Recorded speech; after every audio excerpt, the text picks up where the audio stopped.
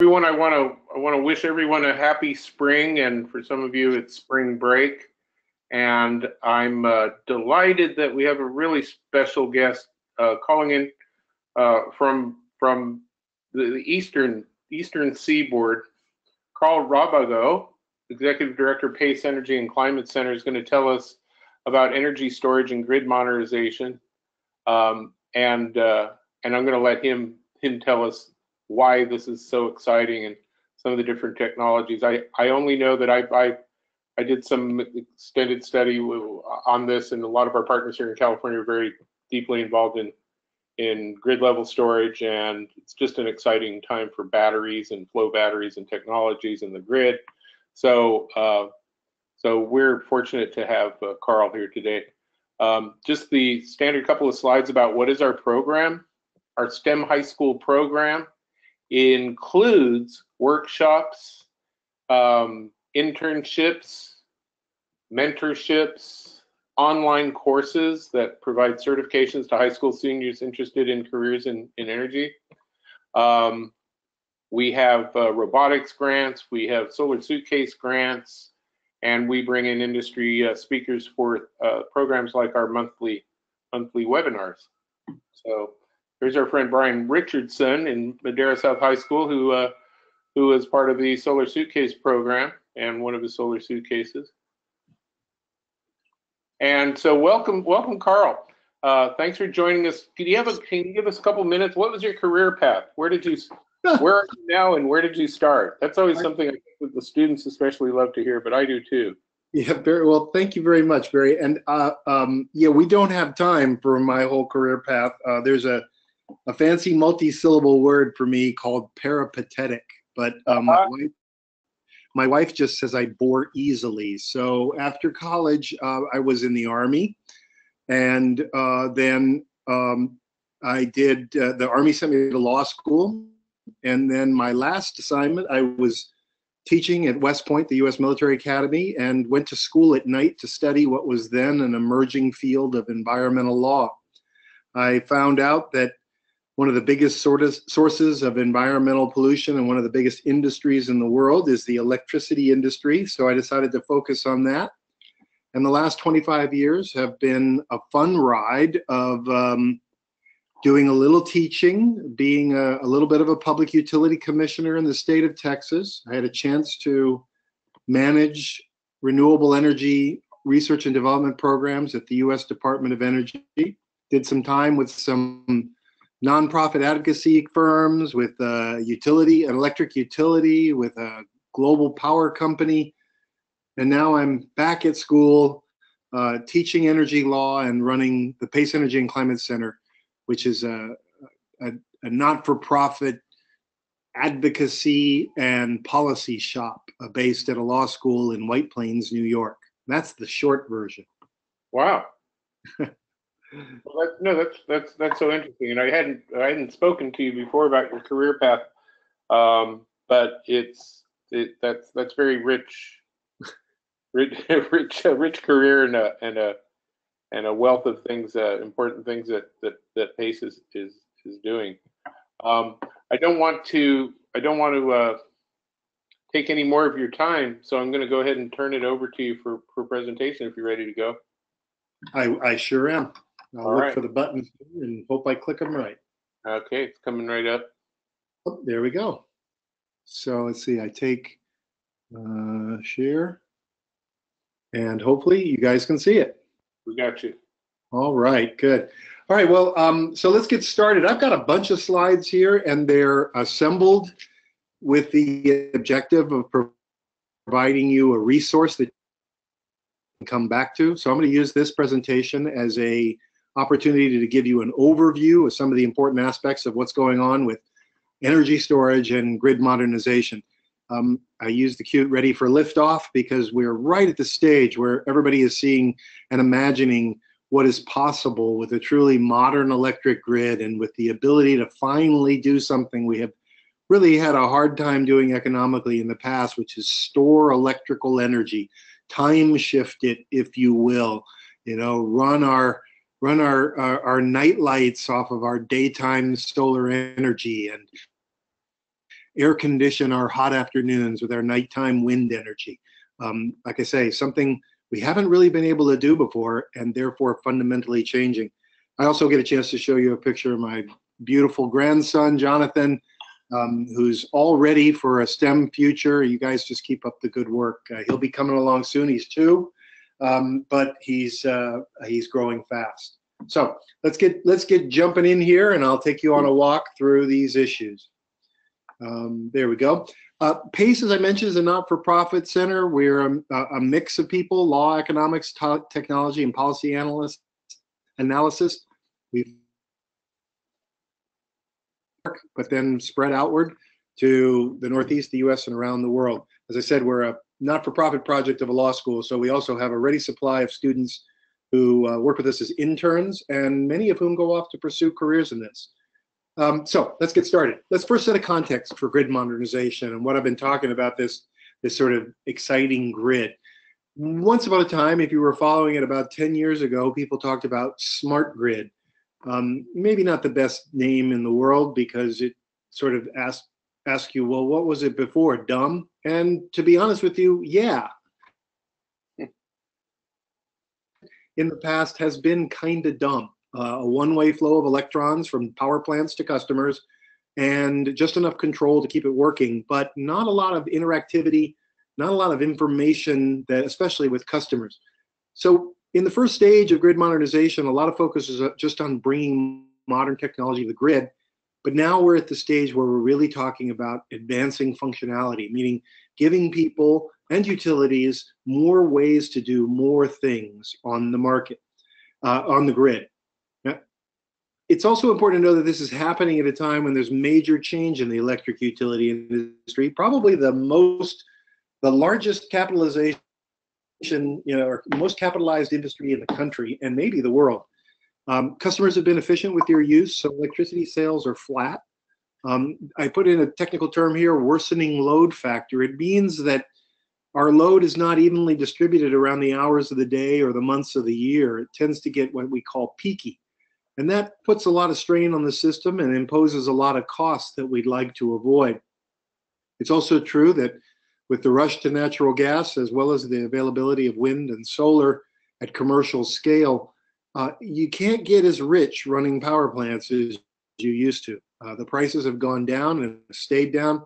You may have been following in the news that there's a lot of coal plants in the Midwest and even around the country, and nuclear plants that can't afford to compete with these new technologies and are and are facing uh, the problem of having to go out of business. Grid modernization is going to make that worse. Uh, it's uh, making competition in the grid a much more serious factor, and the upper hand will go to those who can come up with better mousetraps and uh, and and ways to use them. And the final thing here is that we're talking about a growing DER market. We have lots of our own acronyms. This is the first one you have to learn. Energy resources. It really means all the services and products, things we can do at the distributed edge of the system where you live, where the schools are, where our small businesses are in the distribution grid. So grid modernization has the potential, as I've indicated, to really get customers involved, to give them the opportunity to adopt some of these emerging technologies, rooftop solar, home batteries, energy control, advanced thermostats, lots of things. And a lot of it's also going to run on data. Now, we're not going to all become data hounds and micromanage our electricity system, but there are people who think they can make a living doing it.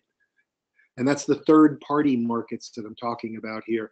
Um, people who want to bundle together technology and information to offer you a service that, they, that you might find superior uh, or at least valuable in running your household, your home, your school, your business. It'll also give us an opportunity to keep the grid running smoothly with reliability and resilience improvements that's important because we're facing increasing severe weather occurrences of all kinds due to global climate change, where uh, and due to the stress on the system that occurs just because what's happening on the grid is being becoming much more diverse. Many more actors, electrons flowing from the utility to the customer, from the customer to the utility, and every which way in between.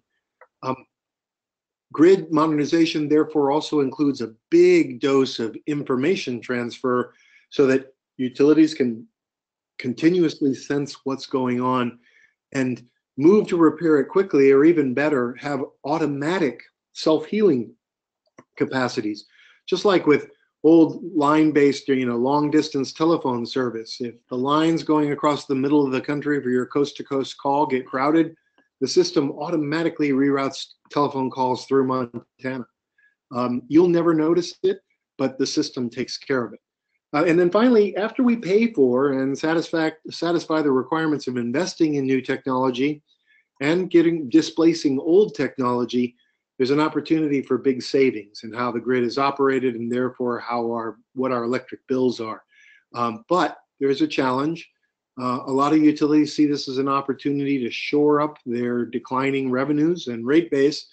And so um, regulators are involved to make sure that we really get the bang for our buck. So it's a big economic issue as well.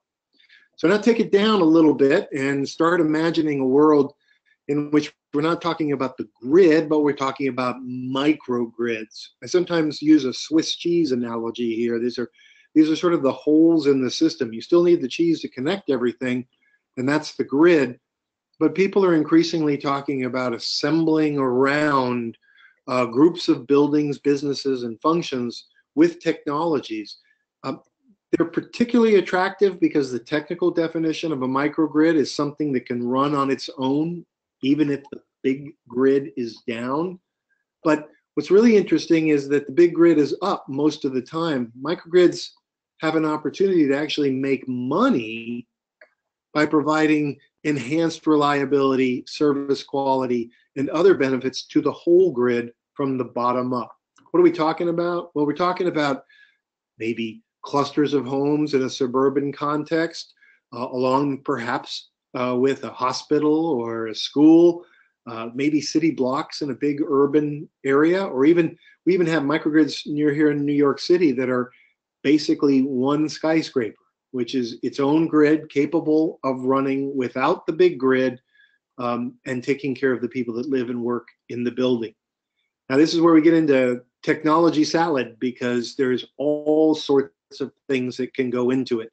Renewable generators, as I mentioned here, CHP, another acronym for combined heat and power, running an engine of some kind, and instead of having the exhaust heat just go into the atmosphere, running that heat through an exchanger and getting another cycle of work out of it.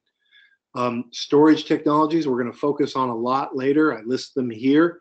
Um, intelligent management, as I've already described, and, and gateway technologies to manage the interface and the flows of services and electrons between the macro grid, the bigger grid, and the microgrid. Here's a picture to sort of give you a simplified idea of what can happen. Um, you connect these kind of loads, you make them as efficient as possible. You install some of this special generation as well as some energy storage and maybe some renewables. And the storage actually makes it possible to run a system that includes things like solar and wind that don't run 24 7 like an engine. Um, and, and that means the concept of microgrid can be extended a lot further. Many people think, for example, that rebuilding Puerto Rico should be done on a hybrid microgrid basis, where you use more renewable energy, again, wind and solar, but you keep the grid up with a lot of battery deployment. You may have read some about in this in the news. It makes a great, great case study for what can be done by rebuilding the grid from the bottom up instead of from the top down. So let's start talking about some of the storage technologies, run through these quickly. Again, these are this is meant to just introduce you, but um, give you a sense of the wide and interesting range of technologies that are out there. First, as general background, understand that as I've already described, this can be a game changer. It can really, really change the way we think about electric service, who's involved, who makes money, who gets savings. Um, storage is tailored, storage as a suite of technologies is tailored and capable to be highly flexible, which means it's got a lot of places it can provide value on the grid. But so far, we haven't, outside of a few places, California is leading the way, um, we really haven't done much to figure out how to take advantage of storage in the grid. And in many cases, old rules and limitations stand in the way of optimizing the value. So we have the potential of widespread deployment, but it's hampered by a lot of old things we did from a world in which we didn't have storage. On this slide, I want to point out the bottom right-hand corner there, a little bit of a, a, a brag, but also uh, a useful reference. I got the logo there for IREC, the Interstate Renewable Energy Council. It's a um, not-for-profit organization that generated this slide information and a lot of the stuff I used or other stuff I've used in this presentation. IREC is a not-for-profit. You can find them at irecusa.org, and I'm proud to serve on the board of directors. We we work to try to make uh, storage and smart grid and distributed generation work well. We also do a lot of work with um, with the business, the jobs that are associated job training for careers in this field. So you might find some interesting resources there. So let's plot out everything you can do with storage. I'm going to use two of these graphs, one that's got a lot of information and one that kind of boils it down a little bit. But this is a useful way to show that storage is a big term for a lot of different kinds of things you can do. This is a typical chart you will see, sort of interesting for people who uh, like graphic representation. Along the vertical axis, you've got how long does it spit out the energy that you've put into it? Is it seconds? Is it minutes? Is it, out, is it hours? And by the way, there's value for all of that on the grid. Uh, and then the bottom, uh, this is, is me being maximally uh, technical. It's a logarithmic scale uh, that takes you from one kilowatt all the way to one gigawatt. Have fun with numbers. Um, that uh, shows you the relative size and sort of duration of output from these technologies. So top right-hand corner, pumped hydro, big, big facilities making thousands of megawatt or hundreds at least of megawatts uh, up to the gigawatt scale. And then going all the way down to really high power supercapacitors. There's capacitors in almost every electric device you have, just little things that hold a charge and release it on microsecond or second basis to keep the system operating smoothly. And a whole bunch of things in between. We'll look at them. Um, at the top, across the top, you'll see the major categories of use that they have, right? So the stuff that's relatively small is really useful for uninterrupted power supply, UPS and maintaining the power quality of the grid. A whole lesson on why we want to try to keep the grid running at 60 hertz. Then the middle section about grid support and shifting loads, as I used in the introductory description, think of running the night light with your daytime solar, running your daytime air conditioner with your nighttime wind. And then finally, bulk power management. Again, those are those big units of power. Not a lot there that you, in terms of numbers of technology, the real value is in those two left-hand sectors. Okay, so here's a simplified version that also gives you another way of de depicting some of it using fewer of the technologies and grouping a lot of the ones that were in the other chart uh, that were individually into a big blue circle called batteries. Again, same kind of uh, axes here, but, but giving you a feeling for how the market is shaping out in terms of where people are making these technology plays. There's also one on here that I'll reference is that people are always talking about super superconductivity and superconducting magnetic storage every time you have a geeky conversation about electric storage. Um, superconductivity is a whole lesson in itself. There's some really exciting work there being done about what we call high temperature superconducting technologies. Uh, high temperature, that's the temperature of, say, liquid nitrogen. Um, you can figure out why that's high if you think about the Kelvin scale. Anyway, there's some stuff out there, and uh, maybe someday there'll be more, but like I say, it's a, it's a whole class all by itself. So let's start looking at these individually. Pumped hydro, remember this is big and can work for a fairly long period of time. This is pumping water when electricity is cheap up a mountain putting it into a reservoir, and then letting it fall when you want it. Um, it's uh, uh, really highly dependent on having the right place to do it. There's not a whole lot of them in the country and not a whole lot of places where we live in sufficiently mountainous terrain to take advantage of it. So really good uh, example of something relatively simple, but not that uh, capable of being ubiquitous because of the demands of the physical space in which it needs to operate. Uh, and by the way, this definitely plays on that price difference between high priced electricity during some periods of the day and low priced electricity in other parts of the day. If that difference shrinks, the investment in a giant facility like this can quickly be less than valuable. It's the risk of the large scale solutions in the electricity business. Flywheels go to the other end, another really exciting technology. They're, they're starting to show up. Imagine, I, I kind of use the metaphor of a beer keg buried in your backyard. So this is a device that has a spinning uh, uh, disc or other structure.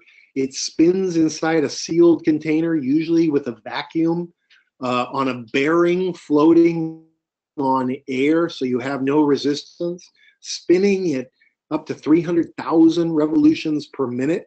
Um, and you spin it up with electricity, and then when you want that electricity back, you tap it back with the magnetic bearing. Um, pretty cool. Uh, but uh, if you don't get the shape of that disc just right, it can also blow up on you pretty fast. Uh, some good work being done on it, and it gives you an example of a very simple kinetic energy storage device that basically turns electricity to motion and back again. And I should say, by the way, that's one of the exciting, interesting, sort of basic forms of energy type discussions that storage enables the ability to talk about the conversion between one form and another and what the what the efficiency losses are that accompany that and whether that makes it into a viable technology. Okay, compressed energy storage, take uh, excess electricity when it's cheap, use it to pump air into an underground cavern. Then when you want more electricity, you let the air come out and you don't have it run a fan, you have it accelerate the wind like a supercharger in another engine. So for the hot rod enthusiasts, you'll understand that if you really compress the air, just like on a jet plane, and drive it through a turbine, you can get greater efficiency out of it. Solid state batteries, that's that big blue circle. Lots of different kinds of things. Most of them depend on substances like I've listed here lithium ion, uh, nickel, cadmium, sodium, sulfur. They're usually solid, right? Hence, hence solid state and we're basically talking about a flow of electrons across uh, an electrolyte from an anode to a cathode.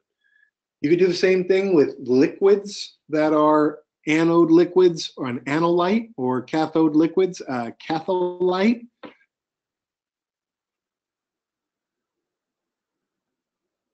You can recharge liquid you of course put the energy in to recharge the liquid and then take the energy out from the other side of the liquid cycle.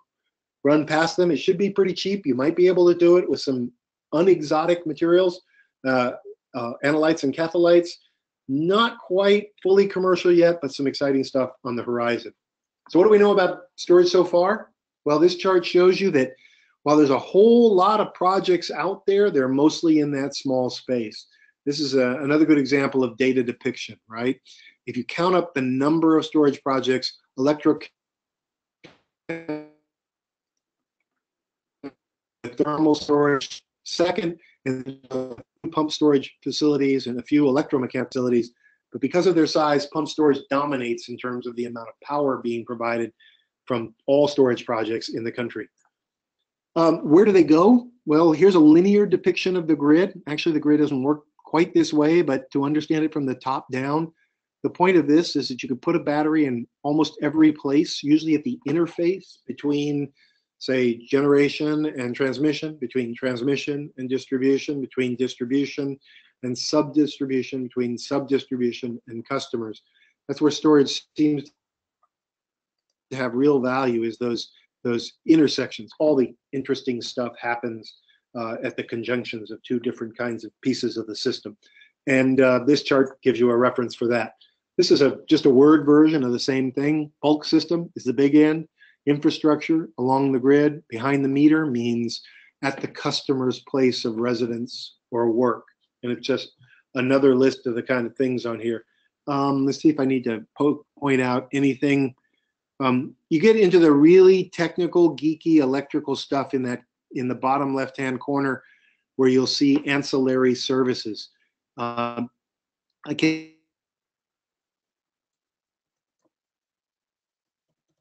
electric grid is and how great our utilities are for keeping it running.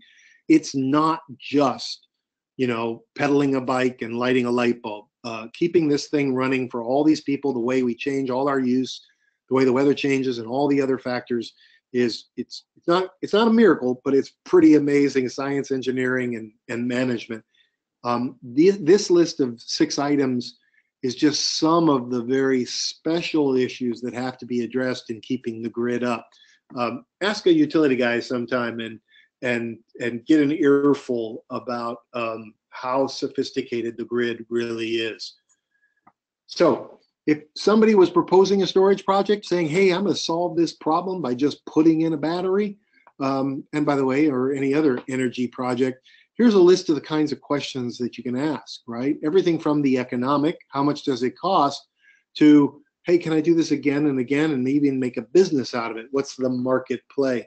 Bunches of other questions that need to be asked to really fully assess a storage project and to compare one to another.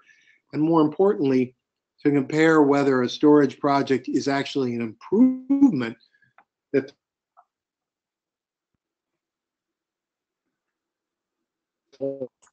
Okay, so let's do talk about value because ultimately value is what drives the decisions that we make. So first, understand that battery prices, and these are for the solid batteries, are falling dramatically. Look at these statistics in the top right-hand corner. 24% decline in the price of lithium ion batteries just since 2016, and 80% decline in price from 2010. Here's a good question why? The answer is pretty simple economies of manufacturing scale. Like solar panels and wind turbines and cars and cell phones, this is a technology that gets cheaper the more you make of it because you get bigger factories, more efficient factories, more efficient use of resources. This is the old Model T Ford idea of mass production. And it takes advantage of these, these falling prices associated with increasing capacity. Where does it work on the grid? A whole lot of different places and does a whole lot of different functions. In each of these diagrams, the simple thing to do is to look at the, the sort of the white line space and then look at the blue line for how the battery can change. And, and what that means you can do with managing the grid. So now instead of just assuming what customers do and taking it for granted. Um, what you can do is actually change the way that consumption looks to the grid by using storage devices and do the same thing with generation. So as I indicated before, there's very there's a whole bunch of subcomponents to what we think of as electricity. Each of them has value that needs to be um, that needs to be analyzed in order to figure out whether this is a good thing. Makes a good sort of case study for for uh, uh, evaluating whether new technologies really are worth it. I apologize in the bottom right hand corner. It looks like it says Stomer service. I think the graphic cut over customer service. Um, another way of just another way of depicting these values and what the grid has to do, going from the inside out most people think it's just about energy. A few people understand it's also about capacity. But running the grid has a whole lot of other features to it that we have to consider. Um, it's not just turning on your lights. And we can take these values and stack them up to decide whether or not the total value that a particular storage project presents is good enough to beat the incumbent prices, whether it should displace something we're already doing by taking advantage of storage technology. So uh, a narrative description about walking you through these things. Uh, I want to turn your attention just really quickly to the, third from the bottom bullet. The, a simplistic question is, is a project cost effective? But what we really need to understand based on these previous three slides I showed you is, is it cost effective for the services it can provide? That'll give you a much different answer. All right, let me keep moving through uh, so that I can uh, get an opportunity to the question period, uh, get you introduced to this stuff. This is another um, uh, aspect of this is that not all markets, as I said at the very start, are ready to give value to storage projects. So regulatory people, lawyers and engineers and other analysts have to work to make the grid system and the electric regulatory system friendly to electric storage. So let's run through a little bit of what we're learning so far. First of all, this summarizes some of those issues and what we need to do to take advantage of storage. There's a whole policy agenda out there.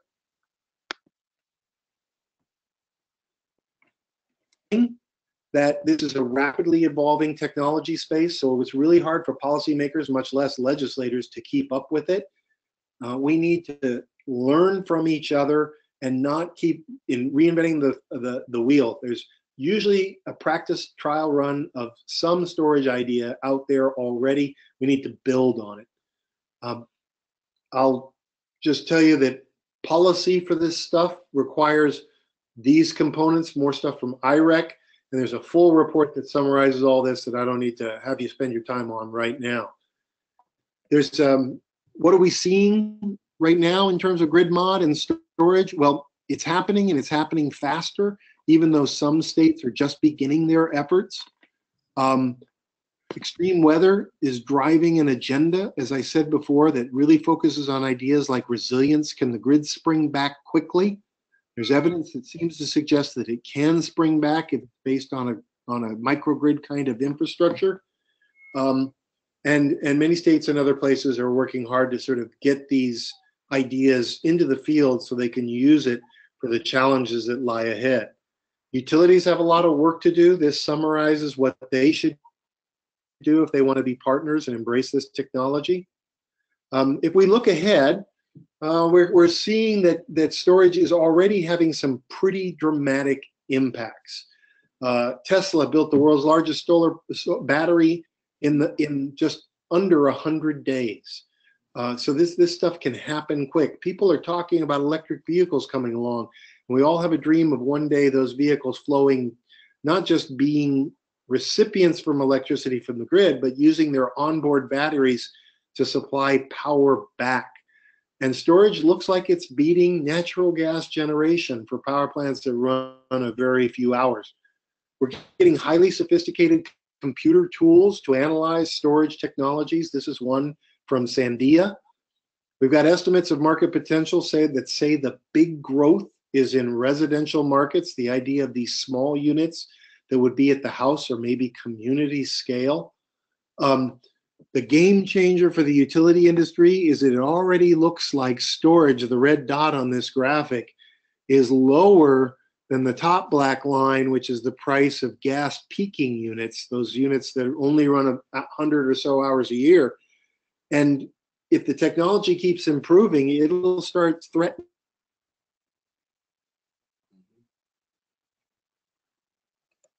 power plants. Um, it is if I was in the gas business, I'd be worried most about storage. Um, and maybe even um, we see signs of them fighting against it. Uh, there's some extra credit questions you could throw in here. Uh, if storage is good at my house, is it good in my neighborhood? Answer is maybe so, but how would you make it work? Um, you know, where do you put it? How do we cooperate? It? Do we do we do? Does everybody have an electricity storage co-op? Um, what are the what are the choices here? Uh, how do we deal with the fact that not only does electricity change during the course of the day, but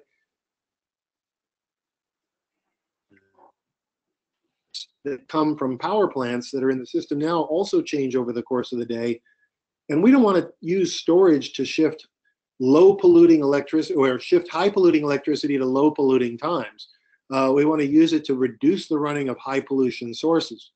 We need to do planning around our grids, and we're learning a lot about system, systematic and localized planning, but it's an emerging field. We need to figure out how to value this stuff, concepts like the firm spread or peak shifting value. are rising up. Um, what happens when solar, which is also Mhm. becomes so ubiquitous that we can overbuild with solar? And then, as I mentioned before, what happens if we can take the electricity from the battery in our electric vehicle and then add that to the idea of an autonomous vehicle that we can send wherever we need it? So now the power plant rolls to the load, uh, makes a little bit of money, and then uses a little bit of electricity to get back to a place where it wants to buy it cheaply. It's a pretty cool world to think about. All right, I've gone a little over time, but you've gotten a whole lot of information here. Hopefully, there's something in here you can make a lesson plan out of or stimulate some creativity and imagination on the part of your students with. Certainly, there's going to be huge opportunity for everybody that I've mentioned, from lawyers like me and policymakers and policy advocates to engineers and technicians and scientists. Um, maybe there even a role for politicians. Joke. So thank you very much for your attention on this. If we have some people on and we're set up for questions, I'd be glad to do some.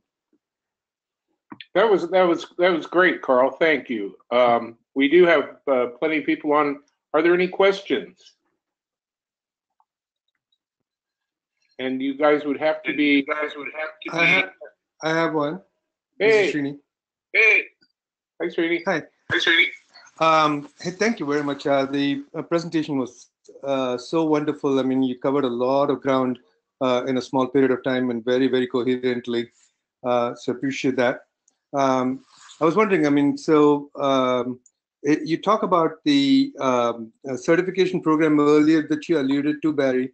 I was wondering if um, there is anything coming on in um, with regard to storage and how you prep students and uh, uh, yourself to be able to, uh, you know, uh, get certified on topics related to what's coming up.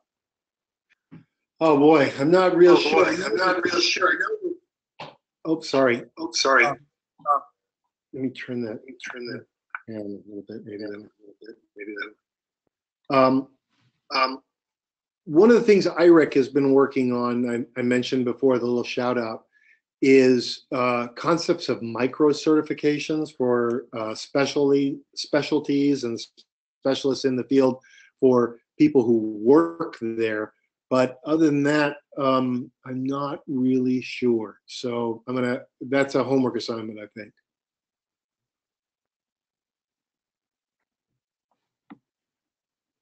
Thank you. Sorry. sorry. Um, is there, Um, I wrote there- down a question that's curious I wrote down a about. that's Curious about. Do you find, do you come across any resistance with regards to batteries? I, I, I'm in, in conversations with the public and social media, a lot of people are concerned about, you know, nickel metal hydride and heavy metals being used in batteries. And I'm, I've been studying it and I know that there are so many things around the corner that are using elements that aren't heavy metals. Do you have any words of wisdom on that? Uh, recycling of materials, Um, longevity of materials, the elements that are used, the environmental consequences of different battery technologies? Well, um, you're right, and it's a really serious issue. Um, it's especially serious issue in the places where these things are manufactured. Most batteries don't have um, uh, a major issue with spills, right? We have some of that. Uh, you know, we, we know we're all experienced with the idea of lead acid batteries and what, um, or at least I guess we all used to be when we tinkered with the batteries in our cars. We've all had a cell a dry cell go bad and make that crusty stuff inside of a, an electric, you know, a, a electric device. Um, but the mostly they're pretty well contained. So what we really have is start of life and end of life issues primarily. Uh, we also have sort of uh, um, elemental scarcity concerns that some people bring up, which is, you know, just who has all the lithium and how do we get a hold of it? Uh, um, so corporate sustainability type agendas and standards go a long way to expecting the manufacturers to be safe but we do get a lot of this stuff from countries that you know have relatively low standards so there's an agenda there that needs to be worked on uh, if you will, sort of a, kind of a fair trade and you know worker friendly plants and policies. And then we need to really get to work on our end of life processes. A lot of the valuable materials and batteries can be recycled uh, in order to uh, give them new life, but we need to not throw them in the trash. And um, the bigger the batteries, the more the bigger that challenge is going to be. Europe is leading us by far on waste management issues, and we certainly can learn from them. From an economic point of view, the pollution at the front end and associated with any leakage or maybe even fires, by the way, which has been an issue, or end of life is what economists call an externality. It's a mm-hmm. cost of the technology that's not in the price, which means that it's not working efficient. The market isn't working efficiently. So it's policy's job to get those prices in. That, by the way, will show the competitive advantage of cleaner technologies and I think spur the adoption and development of those cleaner approaches with, like you said, less, you know, less use of heavy metals and other uh, substances of concern. That what you heard right there is sort of the Adam Smith capitalist answer. Um, of course, there'll be some places that'll just say, we don't want. New York City currently has a ban on big lithium ion batteries because of the fire concern. The fire department just doesn't want to deal with it. And um, they're going to have to come to grips with, you know, whether they can or will. It's um, it's an interesting issue, but if there's value there, people can find a way. Thank you. Thank you. Wait, Can I, am I allowed one more question, Barry? Yes. Yes. Um, So, uh, Karl, you had mentioned uh, the value stacking principle. Um, Could you sort of like, go back to that slide if it's convenient for you, and then uh, walk us through uh, which part of the value do you see emerging um, as uh, recognized and uh, pushing towards uh, being uh, worked on for solutions? Yeah, I mean, okay, Yeah, we I can, mean, yeah. Okay, we could- I just yeah, need back to green. Green. Green. So let me um, So let me um, see if I know how to see if I know how to operate. This is actually a, uh, This is actually a uh, topic uh, topic very near to my very heart. near to my heart. Created Created terror that background noise again. Sorry. background noise again. Sorry. Um, I Um, created a tariff when I was Austin when I was doing this with this solar. with Solar. So, So, um, Barry, see if you Barry, can do whatever you did the last whatever you did the couple of last times when I wasn't, when I wasn't. Sorry. Or maybe somebody else has got maybe somebody else has got the microphone on or something. on or something. Anyway. Um, so here's the concept. Uh, if you've maybe you've seen one of those parfait glass desserts where there's the white kind of tapioca looking stuff at the bottom and then you have layers of different flavored stuff on top. That's really what we're doing here. And as you know, with the parfait glass stuff, uh, stuff, the really good stuff comes in thin slices at the top and the stuff at the bottom you're not exactly sure of. I'm sure there's somebody who really loves it, but um, most people sort of eat the good stuff off the top and stop it stop before they get to the bottom. A kilowatt hour of electricity service is made up of a similar stack of things. First, there's just energy, just the energy value, and this is interesting with storage because the energy value um, changes during the course of the day. It's more expensive to make electricity during the hot summer hours than it is during the late early morning hours or, or late evening or early morning hours. So storage gives you an opportunity to fill your battery at night and discharge it during the day when you can get a higher price. So even though this looks like a fixed block, um, the idea is going for the biggest piece you can. This is very well understood. We have giant wholesale markets that deal with it. We also, the next block, what was labeled here as peak demand, is about electricity capacity, meaning that ability to turn it on exactly when you need it and to do so on a reliable basis. Every time I call you, you'll turn it on. This is also pretty well understood and highly monetized. Value for it is going to get greater uh, as this um, as this increasing competition in the generation sector uh, also grows. Um, but like I say, it's pretty well understood. Then we get into things that are a little more esoteric, uh, maybe more valuable, but we're not sure, and we're not sure how to incorporate them.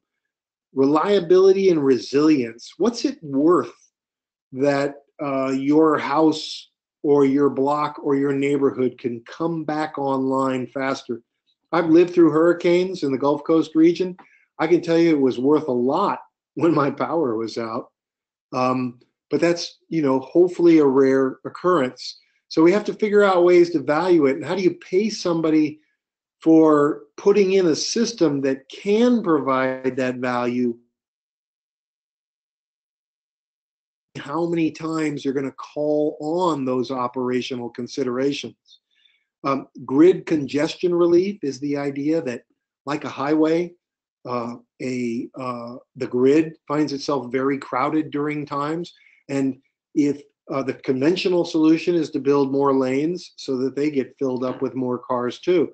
But maybe you can start quantifying the ability of not having to build another transmission line, uh, not having to build another highway lane uh, by installing a battery system. Timing difference here because you want to compensate somebody for putting in a battery that can be called upon to relieve a grid congestion condition at an unknown time in the future for an unknown duration of time. Um, so that's tough economics. That's like the economics of a fire insurance policy, if you will. Um, we know it's really worth it when we need it, but we all grumble about having to pay for it when we don't. And then finally, I had gone through the ancillary services. That little gray block is probably five or six layers of, of some really sweet stuff, but um, but it's it's it's a small attribute with high value, which means it's subject to another characteristic here, which is if enough people come on with batteries to serve a particular ancillary service market, then the value of it goes way down. Um, so we have to figure out how to monetize something that uh, that by its very definition you're trying to extinguish the cost of. so so there's a lot of fun challenges in putting them all together. When you do this, you make a value stack that you then go to the regulator or the utility and say, would you please pay me this amount? And if you do, I can afford to put in a battery. Um, and of course, the utility will say, well, gee, I'm doing a lot of that myself. Why should I pay you? Um, and then we start having a discussion about that other question, which is, can you cost effectively provide these services and over time? So that's the walkthrough. Thank you, Karl. That's really, really useful. Appreciate it. Mm-hmm. Thanks a lot. And I was just typing to you, Srini, there, there might be some online on-demand courses offered by PG&E in the world of um, new technologies, uh, regulatory matters, um, and, and, and the like. And if I'll send, I'll send out a link uh, to all of, all the folks on the call and really maybe everyone. It's a, it's a, it's a useful, it's a useful uh, resource um, we're we're using it. We're, we're going to begin using it with high school juniors and seniors who are interested in basic certifications like around solar solar energy installations and such. But there are also some very sophisticated courses that are offered by PG&E, both at their energy training centers and now increasingly online. So that's that's some good stuff that you might be able to, to take advantage of. Um, it does look like we're out of time, and I, we still have everybody, the, the few who called in. And like I said, I know it's a, it's a, uh, um, it's a, it's a spring break for for many of us. Um, is Mark? Mark is on the call, and I think David, probably Yaroshek. Uh, we have uh, a a uh, at the end of every call, we give away a kilowatt meter. I'm gonna I'm gonna send one to Mark Grobner, who is, I believe, at Stanislaus State. Mark, if you're on the line, congratulations. Yeah. Thank well, you. way to go, Mark. You're going to get one. I think David probably already has one. I think Srini won us our, our, our, our thing last week. But more than anything today, I want to uh, I want to thank Karl uh, for for being on this call, taking the time out. You're doing some some significantly important things, uh, and really your your impact is is global, certainly national, and uh, and and to take the time out to help our, our interested STEM and energy teachers out here in Northern California is is pretty remarkable, and I'm uh, we're indebted to you, Karl. Thank you so much. Thank you so much. Uh, look, I need just know should know by now that you, you just call me, I'm eager to help. You guys are on a good mission, and and a shout out to PG&E too for for being a supporter of this important effort, um, and for keeping the lights on. Yeah, well, there you go. Thanks so much, Karl. I may you you you'll hear from me. I might think of asking you to another another call. Maybe we'll we'll carve out a a, a section of this gigantic topic for another call. Maybe maybe a few months out um, in the fall when we come back. Would you be willing to do that with us? I'm more I'd be more than happy to do it. Thank you.